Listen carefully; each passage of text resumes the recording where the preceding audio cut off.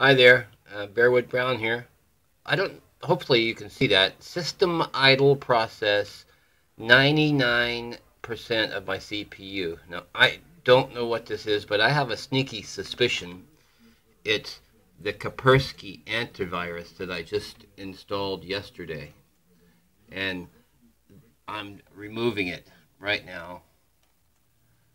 It's slowed my machine right down at a critical period, right when I really needed it to be working, and I didn't need aggravation. I thought it was going to be an easy to use program, but since it's been installed, it keeps coming up with all kinds of questions and stuff and saying it's doing this and doing that. And it's going. And I'll come back in a minute and we'll see if that CPU figure has changed.